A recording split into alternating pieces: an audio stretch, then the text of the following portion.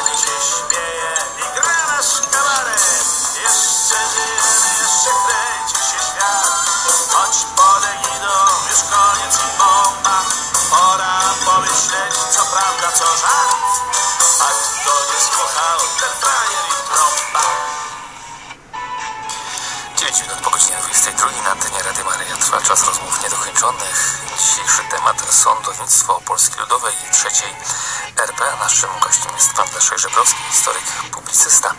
Zapraszam radio słuchaczy do współtworzenia czasu naszych dzisiejszych rozmów. Odbierzmy pierwszy telefon, bardzo proszę.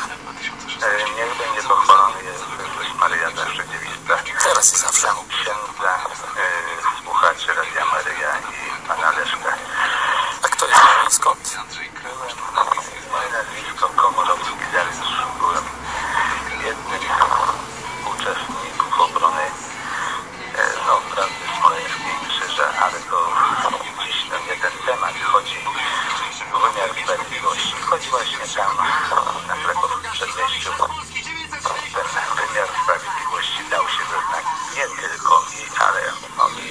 Bye.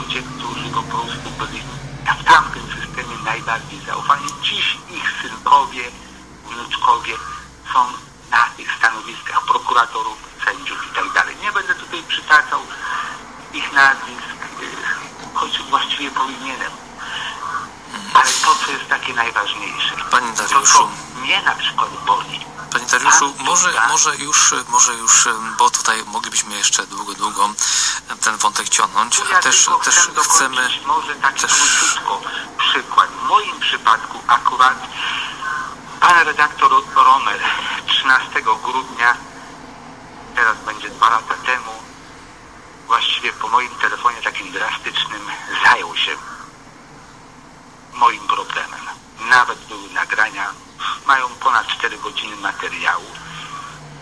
24 godziny materiału. Nie został wyemitowany ten program ze mną.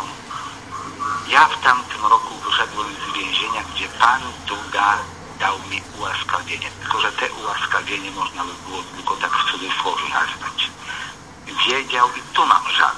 Żal właśnie i do pana Dudy, i do PiSu, gdzie PiS wiedział, znał moją historię. Jak byłem pobity, jak wylądowałem w szpitalu, miałem dolegliwości do dziś te dolegliwości są. A mimo to pan Duda kazał mi w tamtym roku siedzieć trzy miesiące. Czyli poparł ten system. A wiedział, a przynajmniej jego współpracownicy dokładnie znali moją historię i to mnie najbardziej boli. I nie tylko mnie, bo wielu takich ludzi jak ja nadal są niszczeni, mordowani. Mordowani przez ten system. Ja 10 lat temu pochowałem jedynego syna, bo mi ten system go wykończył, zamordował właściwie. Jak możemy nadal w naszym kraju żyć i patrzeć na to wszystko? Tu trzeba byłoby nie patrzeć na te tak zwane krzyki, jazgot. Nie będę już brzydko nazywał tej ćwiczenie tych odrywanych od koryta. Jak można po prostu jako my naród być mordowanym, a nadal pozwalać się mordować? Gdzie? Zaznaczam, mamy tą, może w cudzysłowie, ale nadal mam nadzieję, że dobrą zmianę. Gdzie mają pełnię władzy. Gdzie może prezydent poprosić społeczeństwo. Wyjdźcie, pokażcie, ilu nas jest, ilu chce zmienić ten zbrodniczy system tak zwanego wymiaru sprawiedliwości. My winniśmy po prostu dziś wszyscy wyjść na ulicę pod Sejm i zażądać od posłów, senatorów, od prezydenta natychmiastowych zmian, natychmiastowej przede wszystkim wprowadzeniu ławy przysięgłych, bo to jest najważniejsze. Ława przysięgłych, tylko i wyłącznie ława przysięgłych, czyli oddanie suwerenowi pełnię władzy. Ale ława przysięgłych nie taka jak w Stanach Zjednoczonych. Ława przysięgłych, gdzie ja to nazywam z metodą kija i marchewki. Ławnik ma dostać pieniądze za bycie ławnikiem, ale musi mieć tą świadomość, że będzie odpowiedzialność, gdy świadomie zagłosuje przeciw temu, co dowody wskazują, świadkowie mówią, nie może być czegoś takiego, jak jest dzisiaj, że sędzia czy prokurator no, robi to, co chce, czyli morduje innym sposobem. Nie strzelają nam dzisiaj w tył głowy, ale innym sposobem mordują. To, co ze mną zrobili, ja jestem wrakiem. Ja jestem zamordowany, choć mówię, choć chodzę. Ale ja parę dni temu byłem u prezydenta tam w biurze. Ja powiem, zażądałem przywrócenia mi życia. Jeżeli nie przywrócą mi życia, jeżeli będę zmuszony do obrony koniecznej, to to zrobię. Ja im to powiedziałem, to to zrobię. Mam nadzieję, że jeszcze będę miał szansę żyć. Żyć, ale nie, że za kolejne może 20 lat, bo na pewno nie będzie za 20 lat. Jeżeli mi teraz nikt nie da szansy do życia, to nie wiem, co się wydarzy. Naprawdę. Może zrobię jak wielu niezłomnych. Będę bronił suwerenności, godności przede wszystkim mojej i godności dobrej pamięci mojego dziecka, który oddał życie takiej niemocy, w walce z bezprawiem, z bandytyzmem. Z bandytyzmem takich ludzi jak u mnie tam pani Romaszewska, prokurator, pan sędzia e, yy, Madej, pan prokurator Ślązak i tak dalej, i tak dalej. I takich bandytów, takich zbrodniarzy w mojej ojczyznie jest masa, masa takich Ślązaków, Madejów i innych zbrodniarzy. Śmiało jeszcze raz powtarzam, zbrodniarzy. Panie Dariuszu. Jeśli po prostu tacy ludzie, albo tak jak na krakowskim przedmieściu, broniłem prawa i zapacana. Panie Dariuszu, już wiele słów padło. Dziękujemy serdecznie za, za pana, pana głos. Halo, czy pan słyszy nas? Halo, halo? Panie Dariuszu? Panie Dariuszu? Dziękujemy serdecznie za, za pana Dziękuję, głos, za te wszystkie treści, które pan wyartykułował. wniosą w nasze życie. Ja jeszcze raz dziękuję po prostu, że w tej chwili jest to powtarzane, jest to ciągle mówione o tym i mam nadzieję, że ta zbrodnia na narodzie, zbrodnia ludobójstwa na narodzie polskim w końcu się zakończy. Dajmy odnieść się naszemu dzisiejszemu Szczęść Boże. Szczęść Boże. Prosimy. Nasz osąd rzeczywistości tego, z czym mamy do czynienia, polega na tym, że rejestrujemy takie jednostkowe fakty, przypadki. Pan mówił o swoim, są inne osoby, które mówią o swoich przypadkach. I dopiero skala tego wszystkiego, że nie są to jakieś pojedyncze przypadki, że to nie jest margines, tylko skala tego wszystkiego, która jest olbrzymia, świadczy o tym, że ta potrzeba zmian jest tak silna, że ponad 80% Polaków w tej chwili tych zmian oczekuje, tych zmian żąda. Bez przeprowadzenia tej reformy tego typu, takiej bardzo nawet drastycznej w wielu wymiarach, która musi się dokonać jak najszybciej, nasze państwo nie będzie się normalnie rozwijać. Wtedy mamy taką sytuację, że ofiara żyje koło swojego oprawcy, gdzie jeden i drugi ma taki sam nominalnie status, ale oprawca ma wyższy status, społeczny, status społeczny, pełni określone funkcje, miał zawód, dobry zawód, czyli prestiżowy w tamtym ustroju, ma z tego tytułu wysługę lat, ma sowitą emeryturę, a jego ofiara jest na marginesie. Człowiek, który dochodzi później swoich krzywd i okazuje się, że niby zmieniło się wszystko, że teoretycznie ma takie możliwości, a realizacji tych krzywd, czyli naprawienia ich, nie może oczekiwać, bo jak się okazuje mu nie przysługują. Ja bardzo często na spotkaniach, gdy o tych sprawach mówię, posługuję się przypadkiem bardzo specyficznym pana Zbigniewa Kucharskiego. To był człowiek, który był wzięty z poboru do Ludowego Wojska Polskiego, ponieważ się wyróżniał, był inteligentny, sprawny, został przymusowo skierowany do szkoły oficerskiej, chociaż nie miał. On pisał podania, że chce się zwolnić, że ma gospodarstwo, chce założyć rodzinę, ale ludowemu wojsku, czyli systemowi był potrzebny. W tym wojsku został zatrzymany. On chciał zawrzeć ślub, miał narzeczoną i chciał to załatwić tak, jak jego sumienie mu to nakazywało. Chciał mieć ślub kościelny. Wówczas w tamtych latach musiała być zgoda jednostki, przełożonego oficera, który mu taką zgodę dawał, albo nie. Czy to był politruk, oficer polityczno-wychowawczy, czy oficer informacji wojskowej. W każdym razie on nie miał na to szans, więc chciał to załatwić tak, jak wtedy to załatwiano, potajemnie. Zaufany ksiądz, zaufana parafia, po cichu, dokumenty gdzieś były chowane, z nadzieją, że system nie jest wieczny, że to się zmieni, ale on już od strony formalnej ma to załatwione, natomiast nie może tego ujawnić. Został ujęty. Okazało się, że został wydany przez kogoś, kto widział, jak on wchodził kilkakrotnie na plebanię. Została wezwana bezpieka, on został aresztowany. Ponieważ był oficerem Ludowego Wojska Polskiego, został według właściwości przekazany organom informacji wojskowej, czyli tam to była odnoga sowieckiego smiersza w Ludowym Wojsku Polskim, czyli sowieckiego kontrwywiadu.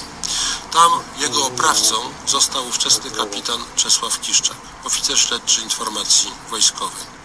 Pan Zbigniew Kucharski, który to wszystko później opisał, swoją słową gehennę, kilka lat strasznego więzienia, ale przedtem potworne śledztwo, opisał to wszystko i to, co mi najbardziej utkwiło w pamięci, to jak doszło do pierwszego spotkania jego jako ofiary z jego oprawcą, z jego katem, kapitanem Czesławem Kiszczakiem, który był oficerem informacji wojskowej 18 Dywizji Piechoty Ludowego Wojska Polskiego w Bełku. Kiszczak wszedł do celi przejściowej, gdzie pan Kucharski był osadzony z plikiem dokumentów, rzucił na niego wzrokiem przez moment, przejrzał dokumenty, zobaczył o co chodzi i powiedział dwa słowa. Te dwa słowa pan Kucharski zapamiętał do śmierci, bo skutki tego ponosił do śmierci. Skutki, jakie odniósł na swoim zdrowiu. To było na kafelki. Kazał go zawlec do celi, która była wyłożona kafelkami. Z kafelków łatwo zmywać krew. Przeszedł tortury. jadł należąco, jak pies, połamane palce z miski, tak jakby psiej, bo nie był w stanie się podnieść. Odsiedział kilka lat, odcierpiał w komunistycznym więzieniu. Siedział w sumie o walkę za prawa człowieka, czyli prawo do wolności religijnej. Jest to także walka w ramach walki o suwerenność państwa, o suwerenność narodu. To nie ulega wątpliwości. Do roku 89 ten człowiek był obywatelem drugiej, trzeciej kategorii. Był przestępcą, był kryminalistą w świetle komunistycznego prawa. Taki był system. I w jaki sposób ci ludzie, którzy to przeszli, godzili się z tym. Przegraliśmy, rządzi nami wróg, nic nie możemy zrobić. Po roku 89 nastąpiła możliwość zmian. Wyszła ustawa o stwierdzaniu nieważności komunistycznych wyroków. Pan Zbigniew Kucharski oczywiście chciał z tego skorzystać. Opisał swoją sprawę, przedstawił całą dokumentację, bardzo obszerną. I co się stało? Postkomunistyczni prokuratorzy stopnia pułkowników, ludzie, którzy byli w wymiarze sprawiedliwości czy niesprawiedliwości Polski Ludowej, zajmują się teraz nim i oceniają, że jemu nie należy się stwierdzenie nieważności wyroku. Czyli to, że był skazany, to jak był potraktowany, to było zgodne z ówczesnym prawem. On nie mógł się z tym pogodzić, walczył. Pożył już bardzo niedługo. To wszystko, co go spotkało i to, co spotkało go w nowej rzeczywistości, doprowadziło do tego, że on przedwcześnie zmarł w 1993 roku. W jego prawa jako osoby represjonowanej, czyli torturowanej, osoby męczonej, weszła jego żona, czyli wdowa po nim i walczyła dalej o jego status. Pisała do Naczelnej Prokuratury Wojskowej. W 1996 roku prokurator Naczelnej Prokuratury Wojskowej poinformował ją ostatecznie, że nie dopatrzył się elementów niesłusznej represji politycznej w stosunku do oskarżonego. Czyli te represje, jakie ten człowiek przeszedł, były słuszne. I to pisze człowiek w stopniu pułkownika, funkcjonariusz Naczelnej Prokuratury Wojskowej w III Rzeczpospolitej, w nowej rzeczywistości. Co więcej, napisał je jeszcze, już po prostu zwykła bezczelność, to wysokiego stopnia, żeby nie pisała więcej, bo jej listy nie będą czytane. Dalsza korespondencja z panią w przedmiotowej sprawie pozostanie bez odpowiedzi. Obywatel może się mylić, obywatel może nie mieć racji, ale obywatel ma prawo do odpowiedzi. I w każdej sprawie, o której się zgłaszam do organu państwowego, ja muszę uzyskać wyjaśnienie. Nie to, że panie, ja panu nie odpowiem, bo mnie to nie obchodzi. Czy pani, co, co to panią obchodzi, ja pani nie odpowiem. Organ jest zobowiązany do tego, żeby wyjaśnić sytuację. Dlaczego ta sprawa nie może być załatwiona? Jakie przepisy prawa o tym stanowią? Co w takim razie jeszcze w tej sprawie można zrobić? Ale nie można odpowiedzieć bezczelnie, że dalsza korespondencja pozostanie bez odpowiedzi. To jest patologia, która została przeniesiona żywcem wraz z normami prawnymi z poprzedniego systemu, ale wraz z funkcjonariuszami tego państwa. Czyli tak dużo się musiało zmienić, czyli nazwane to zostało zmianą, odejściem od poprzedniego systemu, nazwanie trzecią Rzeczpospolitą, żeby Polska Rzeczpospolita Ludowa mogła trwać w najlepsze. I te pewne przekonania tych ludzi, te patologie, których się nauczyli, które zaczęli traktować jako coś normalnego, coś oczywistego, one się utrwalały. To nie trwało rok, to nie trwało dwa, to nie trwało 10 lat. 45 lat wypaczeń, całkowitego odejścia od prawa, od dobra, od moralności skutkowało tym, że te wszystkie negatywne cechy tamtego systemu przeszły bardzo łagodnie, bardzo swobodnie razem z tymi ludźmi do nowego systemu. A jaki tam ten system był? Też chciałbym się posłużyć przykładem. Ludzie z awansu społecznego, różnego rodzaju wydwiżeńcy, jakich wtedy po sowiecku nazywano, bardzo szybko dostawali stopnie pułkowników, stawali się prawnikami z awansu po jakichś przyuczeniach, po jakichś kursach w stylu sowieckim i następnie kształtowali i doktrynę, i praktykę prawną. Jeden z nich, Mosze Muszkat, pułkownik z nowego naboru, uznał na Zgromadzeniu Zrzeszenia Prawników Demokratów w Polsce Ludowej, że sąd musi zrozumieć, że do każdego przepisu należy stosować marksistowską wykładnię, czyli sam przepis sobie nie wystarczy. Trzeba go jeszcze opisać, jak ma być stosowany. I jeśli dobro demokracji ludowej nie będzie zachowane, a jest naczelnym nakazem, to przepis, który temu warunkowi nie odpowiada, nie może być stosowany. Czyli mamy prawo, które możemy swobodnie odrzucić, bo nadrzędnym dobrem jest demokracja ludowa. Co to za pojęcie demokracja ludowa? Ono nic nie znaczy. To jest pustosłowie. To jest po prostu interes komunistów. Co więcej, on uznał, że podział na prokuratora, który ma przygotować akt oskarżenia, czyli zgromadzić dowody, podział na adwokata, który, którego rolą jest bronić oskarżonego, wyszukiwać w rozumowaniu, w dokumentacji, którą przygotował prokurator luk, tego typu rzeczy, które będą świadczyły na dobro jego klienta, żeby go wybronić i podział na sędziego, który musi, musi wydać wyrok, nie istnieje, zanika. Tenże pułkownik Muszkat uznał, że zadaniem e, adwokata od tej pory nie będzie obrona oskarżonego przed karą. W ludowym wymiarze sprawiedliwości adwokat ma stać się obok sądu i prokuratury trzecim organem, którego zadaniem jest wykrycie przestępcy, choćby to był jego własny klient. Adwokat ma się stać pomocniczym funkcjonariuszem policji śledczej. Czyli adwokat, prokurator i sędzia mają współdziałać w celu skazania osoby oskarżonej. I w tym momencie kwestia winy, kwestia dowodów znika.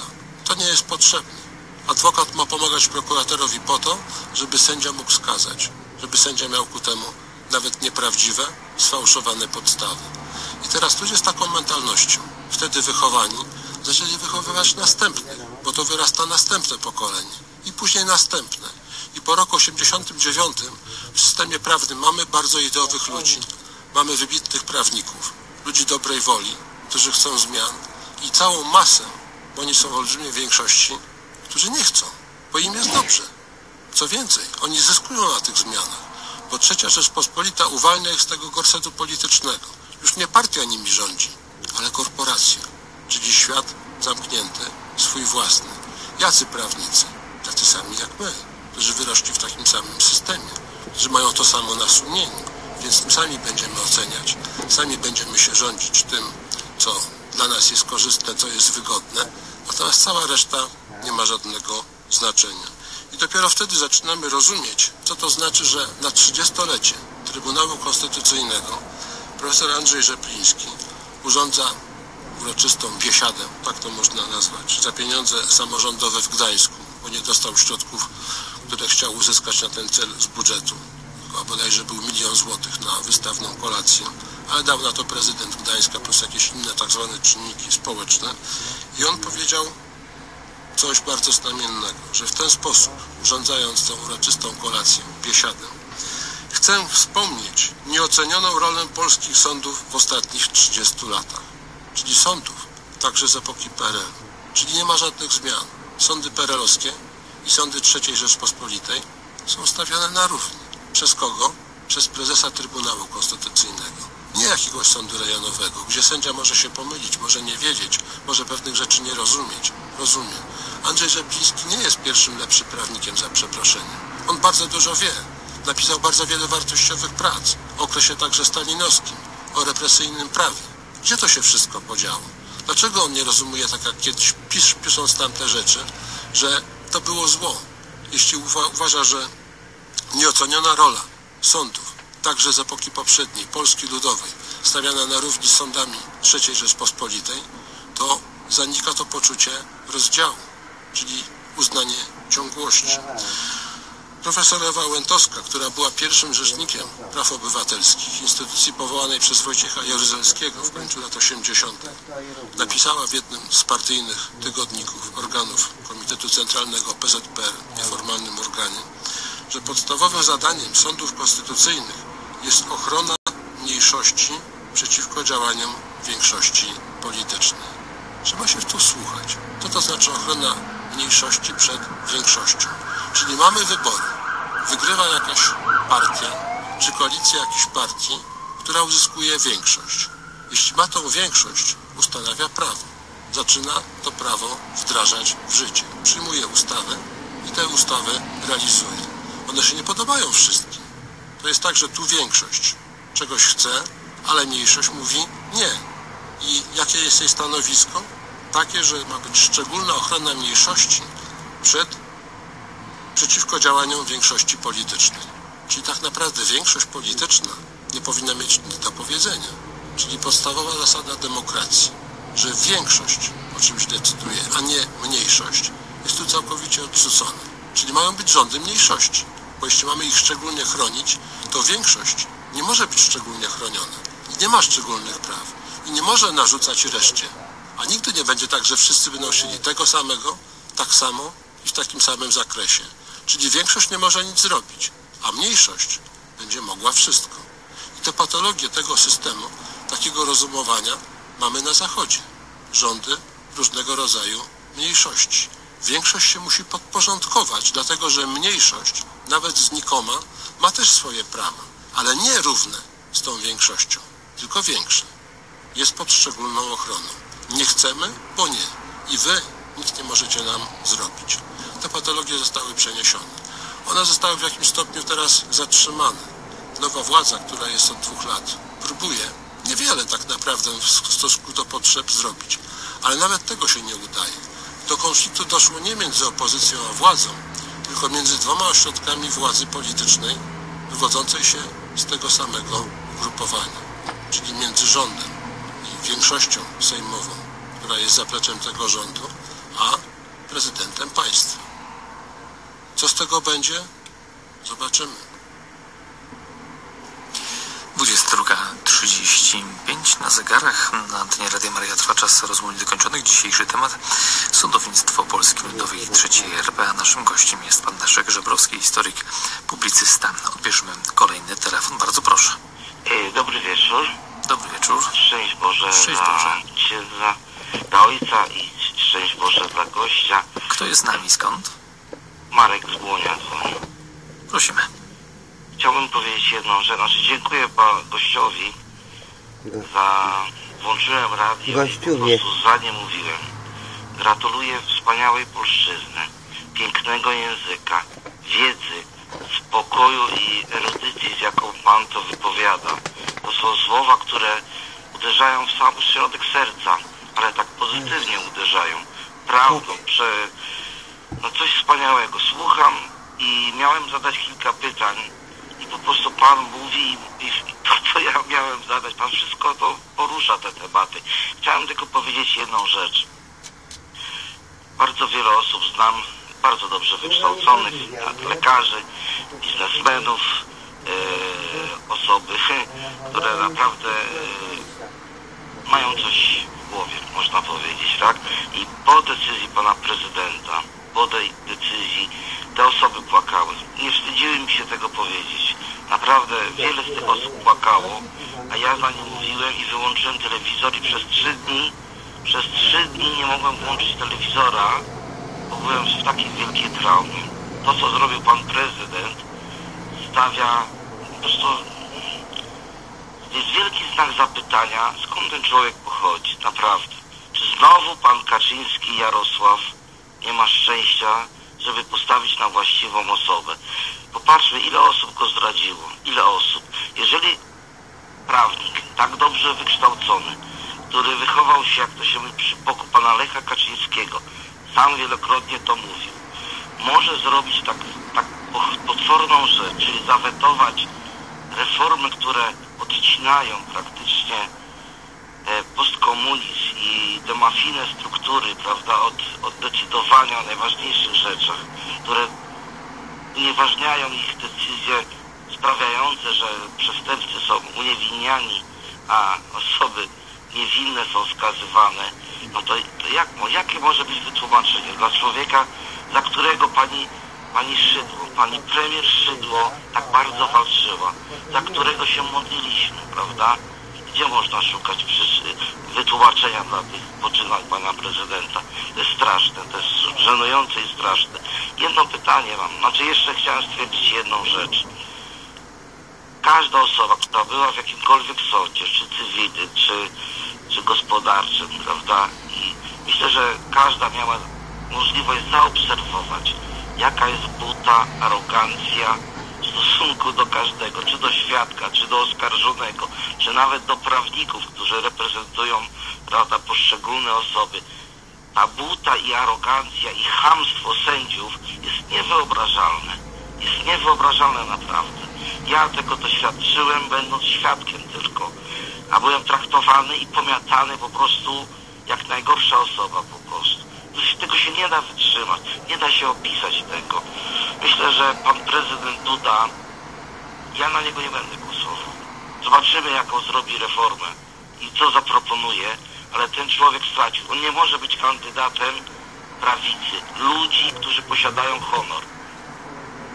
My posiadamy honor. Pan prezydent w tym momencie stracił honor. Jeszcze jedna rzecz, potwierdzająca Pana słowa, Panie e, redaktorze. Jedna rzecz. Pan prezydent powinien też odpisywać na listy. Tak, powiedział Pan te słowa. Każdy urzędnik ma, pra, ma obowiązek odpisywania na listy, ale Pan prezydent przez wiele miesięcy zapomniał o tym. Otoczył się ludźmi, którym nie wiem skąd ich wziął. Tak popatrzmy sobie powolutku i popatrzmy, kto jest koło Pana prezydenta i co oni robią, jak się odzywają. Ja polecam Pani premier Szydło, Pana gościa właśnie tutaj w Radio Maryja jako rzecznika rządu. Myślę, że byłby Pan idealną osobą, cudowną, której żaden dziennikarz by nie mógł e, zakasować czy podważyć tego, co Pan mówi. Po prostu ma Pan dar mówienia cudowny. Gratuluję, błogosławię Pana i całe Radio Maryja i szczęść Wam Boże. Niech, Bóg zapłać serdecznie, panie Polska Marku. się nie daje, naprawdę. I szczęść Boże. Szczęść Boże, pozdrawiamy. Dziękuję bardzo za ten głos, za wypowiedź dotyczącą tej sytuacji obecnej, tego co się dzieje, co się właściwie stało, a nie wiemy co się będzie działo. Niestety nie znamy, jakie są prawdziwe kulisy wszystkich tych wydarzeń. Dlaczego tak się dzieje, że dwa ośrodki władzy wywodzące się z tego samego ugrupowania nie doszły wcześniej do jakiegoś porozumienia, nie doszły do takiego uzgodnienia stanowisk, żeby na zewnątrz pot- potrafić przeprowadzić reformę, która jest oczekiwana przez ponad 80% społeczeństwa. To nie jest jakaś liczba przypadkowa, że jakaś grupa, nawet znaczna obywateli czegoś chce. Ponad 80% to jest praktycznie wszyscy, bo poza tym pozostają osoby nieświadome, niezainteresowane, te, którym na niczym nie zależy. To są te zainteresowane, to są te świadome. I w tych 80%, którzy popierają zmiany, reformę sądownictwa, są przede wszystkim ci, którzy są pokrzywdzeni albo mają poczucie krzywdy. Jeśli nawet nie są pokrzywdzeni obiektywnie, to mają poczucie krzywdy dlatego, że nikt im tego nie wyjaśnił. Dlatego, że właśnie na salach sądowych spotykają się z butą, z arogancją, że człowiek nie może uzyskać pewnych wyjaśnień. Ja sam byłem świadkiem takiej sceny, że coś się na sali sądowej działo, gdy sędzia zamknął rozprawę. Pół minuty wcześniej ludzie wychodzili, ktoś chciał coś zapytać. Został potraktowany jak śmieć, że to już nie teraz, bo rozprawa została zamknięta. A to chodziło o drobną sprawę techniczną. Gdyby sędzia odpowiedział trzema, czterema wyrazami, ten człowiek by uzyskał poradę, miałby wiedzę, co jeszcze teraz może zrobić w takiej sprawie. Odrobina życzliwości, nic więcej. A tu nie, bo nie. I takie, tego, tego typu przypadki, które świadczą o tym, że jest kasta ludzi, która uważa się za nadzwyczajną, powoduje, że obywatele są rozżaleni, że mają żal do prezydenta. Nie ma ustaw, które byłyby przyjęte po roku 89, bo ten okres oceniamy, w takim trybie i w takiej postaci, że nikt by się nie mógł do tych ustaw przyczepić, że nie byłoby uchybień, nie byłoby sprzeczności, nie byłoby rażących odstępstw od tego, co powinno być. Wszystkie ustawy są w jakiś sposób ułomne. Ja przez 10 lat pracowałem jako urzędnik państwowy na kierowniczym stanowisku w Urzędzie do Spraw Kombatantów i Osób Represjonowanych od 1992 roku. Ustawa, na podstawie której pracowaliśmy, została przyjęta rok wcześniej, w 1991 roku. Przez 10 lat sprawowania funkcji w tym urzędzie ta ustawa została bodajże 20, chyba 2 czy 3 razy znowelizowana. Czyli cały czas były braki i te braki nie, były załatwiane w ten sposób, że zróbmy raz wszystko porządnie. Skoro w praktyce się okazało po miesiącach czy pierwszych kilku latach funkcjonowania, że ta ustawa jest, uje, u, jest ułomna, że ma rażące braki, że pewne sprawy są niewyjaśnione, później to trafia do sądów, to się ciągnie latami, można to poprawić. Można przyjąć nową, jednolitą ustawę, która wszystkie te braki usunie. Nie, to jest poprawki, to są tylko poprawki, czyli mamy stare spodnie, które pękają, które się rozłażą, a my naszywamy łatę. łatę na łatę. I w końcu nie ma już czego do czego przyszywać. To wszystko ma funkcjonować. Tak być nie może. To musi być załatwione inaczej. Ale w, tym, w tej sytuacji, kiedy jedna strona, czyli strona opozycyjna, mówi, że nie dopuści do żadnych zmian, wyprowadza ludzi na ulicę i ci ludzie protestują. W większości, jak się później okazuje z ich wypowiedzi, nie wiedzą przeciwko czemu, bo widzieli, bo słyszeli, bo Kaczyński dyktator, bo Ziobro łamie konstytucję, bo chcą nam zabrać prawa, bo będą przychodzić o 6 rano i nas zamykać. Takiego w Polsce nie ma. Takich rzeczy już dawno nie ma, zostały wyeliminowane. One były, tylko były w poprzednim systemie. Robili to ci, którzy teraz najbardziej protestują. Jeśli chodzi o sposób realizacji prawa w Polsce, zapytajmy ludzi pokrzywdzonych. Zapytajmy tych, którzy siedzieli miesiącami czy latami w aresztach, czy zostali bezprawnie skazani, jak się później okazało. Ludzie wychodzą dzisiaj z więzień, gdzie orzeczenia były całkowicie sprzeczne z prawem. I co z tego, że dostaną odszkodowanie? A kto za to zapłaci? Z kogo ściągną? Z sędziów, którzy ich skazali? Z prokuratorów, którzy ich fałszywie oskarżali? Czy to my zapłacimy? Dlaczego nie zapytamy pana Macieja Dobrowolskiego, rzecznika kibiców klubu Legii Warszawa, środowiska kibiców piłkarskich? 40 miesięcy w areszcie, bez wyroku. Na podstawie jakich oskarżeń? Jeden świadek y, koronny sam przestępca, który idzie na współpracę z organami ścigania i wymyśla teraz te nowe historie. Jeśli człowiek jest winny, jeśli są dowody, to można w trybie normalnym doprowadzić do tego, że albo te dowody są wystarczające i doprowadzamy do rozprawy sądowej, skazania lub uniewinnienia, albo odstępujemy od oskarżenia, bo dowodów nie mamy. 40 miesięcy czekania na coś, a to nie jest najdłuższy czas. Dlaczego nie zapytamy pana Piotra Staruchowicza, który siedział 8 miesięcy bez wyroku. Przecież tym ludziom łamie się życie, łamie się pracę zawodową, łamie się tryb nauczania, jeśli się uczą, łamie się życie rodzinne, które zostaje całkowicie brutalnie przerwane. Kto jest temu winny? Kto za to odpowiada? I kto ponosi za to odpowiedzialność? Nikt nie ma winnych? Co się dzieje z marszami niepodległości? Przez szereg lat rządów poprzedniej koalicji ludzie od miesiąca wcześniej byli nachodzeni, byli wyciągani z domów, rekwirowano im nawet polskie flagi, emblematy patriotyczne jako faszystowskie, bo były jakieś wzorce prowadzone przez lewackie środowiska do Ministerstwa Spraw Wewnętrznych, żeby badać pod tym kątem, kto jaki znak ma. I co z tego, że to jest polski patriotyczny znak? Jest jakaś broszurka, jest jakieś środowisko, jakaś fundacja, jakieś stowarzyszenie, które podsuwa usłużnie, że to są faszyści. Trzeba ich ścigać.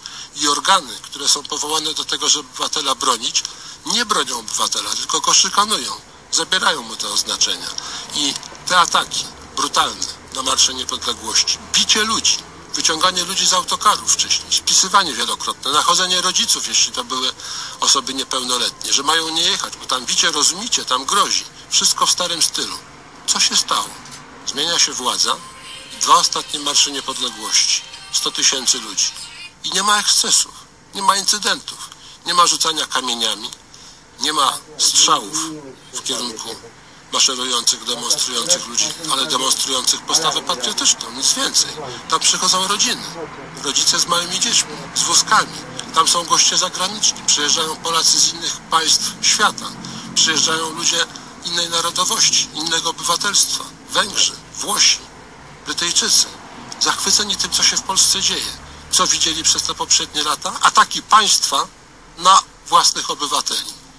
Gdzie są odpowiedzialni? Kto podpalał budki wartownicze, które rzekomo były efektem działań bandziorów z Marszu Niepodległości? Gdzie są urzędnicy, którzy o tym mówili, jedząc, pijąc na nasz koszt Usowy i przyjaciół w innych miejscach, gdzie nie zostali nagrani? Ale z tego widzimy, że jeśli tam to było, w miejscu w sumie publicznym, to jakie biesiady i jakie rozmowy mają miejsce w miejscach bardziej strzeżonych, bardziej dyskretnych. To wszystko wychodzi na jaw. Zróbmy coś takiego, żeby był odpowiedni nacisk społeczny, że nie kodomici wychodzą z drugiej strony, nie obrońcy starego porządku, że oni nie chcą zmian. Oni o to walczą i prezydent ustępuje. Uważa, że dla dobra lepiej ustąpić małej, znikomej mniejszości kosztem większości, niż coś się ma w Polsce dziać. Niech wyjdą ludzie, którzy są pokrzywdzeni, niech oni demonstrują. Niech powiedzą, panie prezydencie, te zmiany być muszą. niech pan to zrobi. Pan prezydent obiecał, że jeśli będą zmiany techniczne w jednym z projektów ustaw, że będzie decydowała większość nie dwóch trzecich, tylko trzech piątych, to ja tę ustawę podpiszę. Koalicja rządząca poszła na te ustępstwa. Chociaż z góry zachodziło podejrzenie, że jeśli nie będzie tej większości trzech piątych, to druga strona, czyli opozycyjna, nie pójdzie na kompromis, na ugodę i tych zmian nie będzie chciała przeprowadzić. Czyli część tych ustaw, część tych zapisów będzie martwa. Ale to zostało przeprowadzone. I w nowym projekcie, który się pojawił, który poszedł do i został przegłosowany, poszedł do podpisu prezydenta, to było. I pan prezydent nie dotrzymał słowa. Niestety to trzeba głośno i wyraźnie powiedzieć. Odbierzmy kolejny telefon, bardzo proszę. Przepraszam, szczęść Boże, mówi Małgorzata z Podkarpacia. Szczęść Boże. Witam serdecznie ojca prowadzącego i zaproszonego gościa.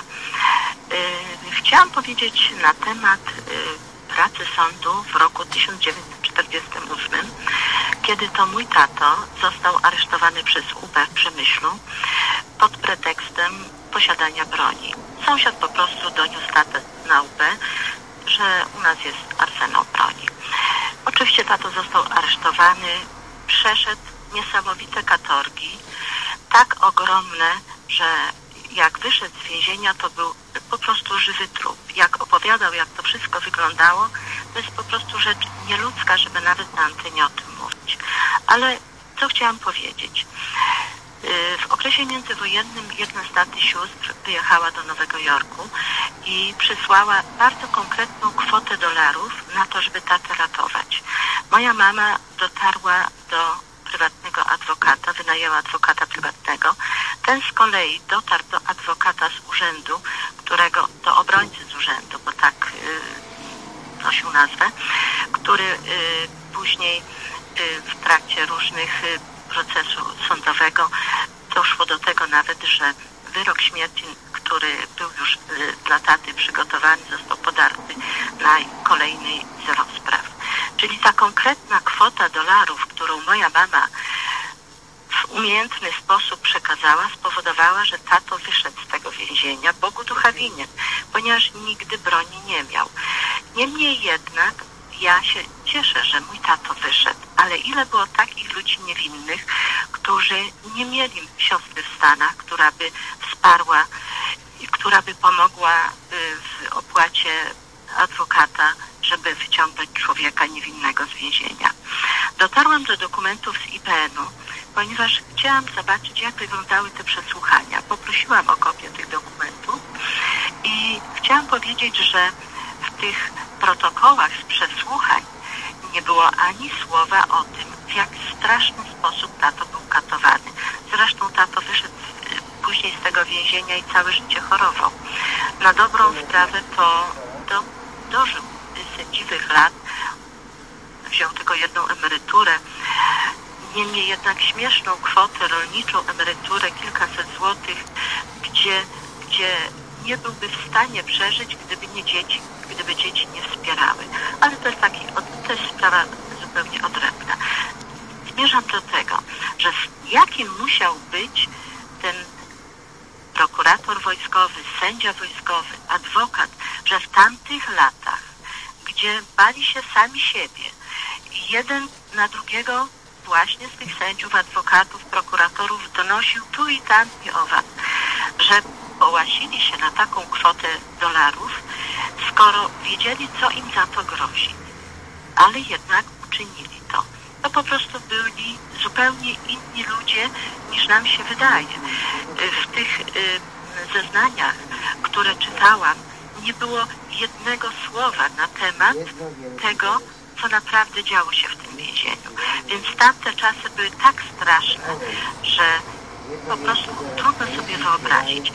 Po nazwiskach można łatwo dojść, że synowie tych właśnie oprawców mojego taty również funkcjonują w tej chwili w wymiarze sprawiedliwości. Ja nie zamierzam dochodzić, dyskutować z tymi ludźmi, bo mój tato na sądzie boskim i, i oni też kiedyś będą na sądzie boskim. Niemniej jednak to, co Państwo mówią, że kolejne pokolenia weszły w te same struktury, jest, jest po prostu oczywistą prawdą, co jest potwierdzone w tych dokumentach, o których mówię.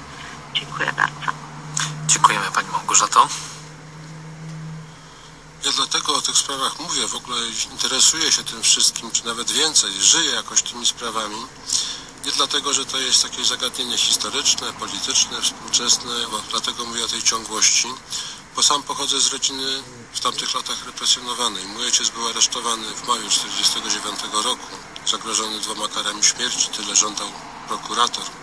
Później w następstwie różnego rodzaju amnestii, nawet mogę powiedzieć, że dzięki tym amnestiom, już nie jest to słowo odpowiednie, ale trzeba komunistom dziękować, że nie wszystkich mordowali. Dzięki temu mój ojciec przeżył.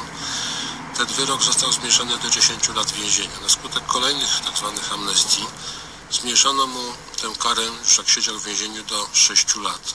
Przez to, że przez rok pracował jako niewolnik w kopalni węgla kamiennego w Knurowie, jako tak zwany pracownik specjalny, czyli niewolnik, który musiał wydobywać węgiel własnymi rękoma po to, żeby Związkowi Sowieckiemu sprzedawać go za 4 zł za tonę. Liczono mu każdy dzień pobytu w kopalni jako niewolnikowi za dwa dni siedzenia w więzieniu, czyli dodatkowy rok zyskał i wyszedł na wolność po pięciu latach więzienia. Dzięki temu po pierwsze wyrosłem w takiej atmosferze, wiedziałem, umiałem rozróżnić, kto kim był w tamtym systemie, kto jakie funkcje społeczne pełnił, jakie miał zasługi czy antyzasługi dla Polski, ale poznałem też bardzo wielu kolegów, znajomych, przyjaciół ojca, którzy przeszli podobną drogą, bo trudno myśleć o takiej samej, każdy z nich miał inną. Ludzi skazanych na karę śmierci, gdzie wyroki nie były wykonane, ludzie, którzy mieli dożywotnie więzienie, ludzie, którzy wychodzili z więzień nie w 56 roku, kiedy się wydawało, że wszystkich właściwie zwalniano, ale jeszcze w latach 60., czyli kilka lat później. I ich los wszystkich tych ludzi był straszny. Potworne śledztwa, sfingowane dowody, współpraca obrońcy wojskowego na ogół z prokuratorem i sędzią, żeby tego człowieka skazać, a później ich los w więzieniu. Los w więzieniu to nie było zamknięcie sprawy wcześniej, koniec tortur, koniec szykan, tylko odbywanie tej kary i nic więcej. Naczelnicy więzień komunistycznych, gdzie ci ludzie trafiali, tak jak naczelnik Kukawka w Rawiczu, potrafili mówić nowo przybyłem, że wy tu przybyli na zdechnięcie. Wy tu nie liczcie na to, że tu będziecie inaczej traktowani. Na zdechnięcie. To jest wasze zadanie. Zdechnąć w naszym więzieniu. I bardzo wielu ludzi w tych więzieniach traciło życie. Nawet nie na skutek pobicia czy, czy jakiegoś tam specjalnego świadomego mordowania, ale warunków, jakie im stworzono, warunków higienicznych, warunków sanitarnych, braku opieki medycznej. Mamy akty zgonu, gdzie cały czas się wpisuje typowe choroby. Coś tam z sercem, coś krążeniem i później nagle po roku 56 tych zgonów nie ma. One znikają. Czyli to są zamierzone mordy postsądowe, czyli mordy więzienne, bardzo często na najwybitniejszych polskich bohaterach, na ludziach niezwykle cenionych, ludzi, którzy mogliby odgrywać rolę wojnie w Polsce zupełnie inną, nie więźniów politycznych, nie politycznych bandytów, jak komuniści nazywali, ale wzorców osobowych dla nowych pokoleń. Tych ludzi nam zabrakło. I teraz co się dzieje? Przychodzi rok 89, zmiany. Rok 90, wybór Lecha Bolesławowicza Wałęsy na prezydenta Polski. On chce mieć drugą kadencję. W 95 roku uzyskuje 1% czy mniej poparcia. Całkowita degrangolada tej prezydentury i postaci. Zresztą widzimy teraz, co się dzieje. Ale wygrywa ktoś w jego miejsce. Przychodzi ktoś, kto ma konkretny życiorys. Minister rządu komunistycznego. Kilka lat po zmianach komuna wraca do władzy, tym razem w glorii demokracji, poparcia większości. Mówię o towarzyszu Aleksandrze Kwaśniewskim. On rządzi przez 10 lat jako prezydent Polski. Dwie pełne kadencje. Pomijam wszystkie inne sprawy w tej chwili, bo tu nie da się wszystkim powiedzieć, ale rzecz bardzo charakterystyczna. Na stronie prezydent.pl, na stronie internetowej Kancelarii Prezydenta podczas kadencji Aleksandra Kwaśniewskiego figurowali prezydenci Polski z życiorysami, wszyscy na równi, jako mający taki sam status prezydentów. Wśród nich Bolesław Bierut. W NKWD zarejestrowany jako towarzysz Iwaniuk, czyli sowiecki agent jeszcze z okresu międzywojennego i obywatel sowiecki przedwojenny, czyli automatycznie wykluczał się z polskości tracił obywatelstwo polskie. To oczywiście nie wyszło na jaw, to polskie organy władzy II Rzeczpospolitej o tym nie wiedziały, ale dzisiaj wiemy. Obywatel sowiecki przedwojenny miał status równoprawnego prezydenta, tak jak wszyscy inni po 1918 roku, przez 10 lat. Kim był Bolesław Bierut? To nie był tylko zwierzchnik partii komunistycznej. On miał szczególny status. On był organem sądowym. Jako tak zwany prezydent Krajowej Rady Narodowej, a później jako prezydent Polski Ludowej miał, dysponował prawem łaski. Czyli ostatecznie on decydował o życiu śmierci polskich bohaterów, ludzi niesłusznie skazanych. On jeszcze miał tą szansę, jako ostatnia instancja, uratować ich. Nie mówię, że zwolnić. Wystarczyło, żeby zamienił im karę na dożywotnie więzienie. Ci ludzie, ileś by pocierpieli, mieli przynajmniej w jakiejś większości szansę wyjść, przeżyć. Ale on przyczyniał się do tego, żeby zostali zamordowani. I tylko dwa przykłady. 28 sierpnia 1946 roku została zamordowana 17-letnia sanitariuszka ze zgrupowania 5. Wileńskiej Brygady Armii Krajowej majora Zygmunta Szędzielarza Łupaszki. Na protokole wykonania wyroku śmierci jest adnotacja. Prezydent Krajowej Rady Narodowej z prawa łaski nie skorzystał. Czyli Bolesław Bierut w ten sposób staje się mordercą sądowym. Po raz kolejny, nie po raz pierwszy, nie drugi, bo on tysiące takich odmówień prawa łaski zastosował, czyli tysiące razy jest mordercą sądowym. 25 maja 1948 roku mamy protokół wykonania kary śmierci rotmistrza Witolda Pileckiego. Bohatera nie tylko Polski podziemnej, nie tylko bohatera Polski, nie tylko Europy, ale to jest bohater świata.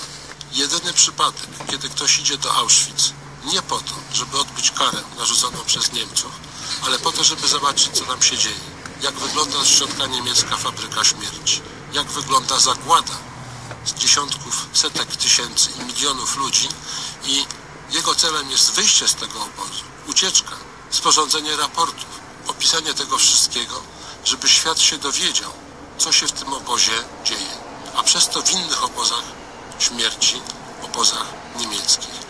Taki człowiek jest po wojnie zamordowany. Jemu nie można było nic zarzucić. On nie walczył z komuną z bronią w ręku.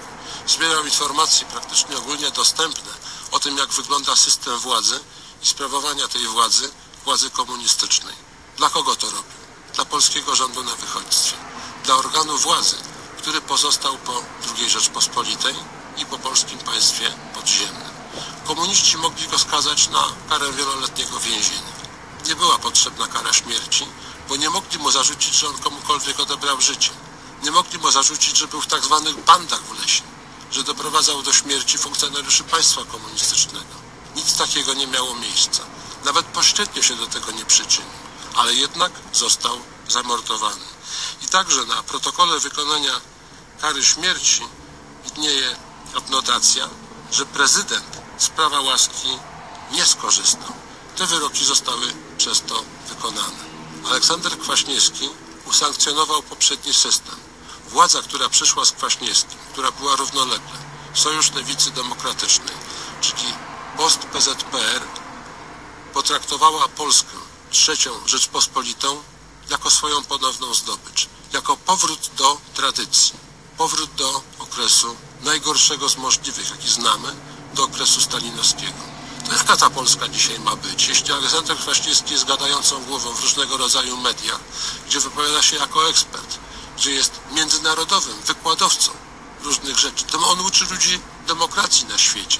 Jest doradcą jakichś marionetkowych rządów, jakichś uzurpatorskich rządów w różnych krajach za ciężkie pieniądze. I on mówi, że on tam właśnie uczy ich demokracji, że oni będą demokratami.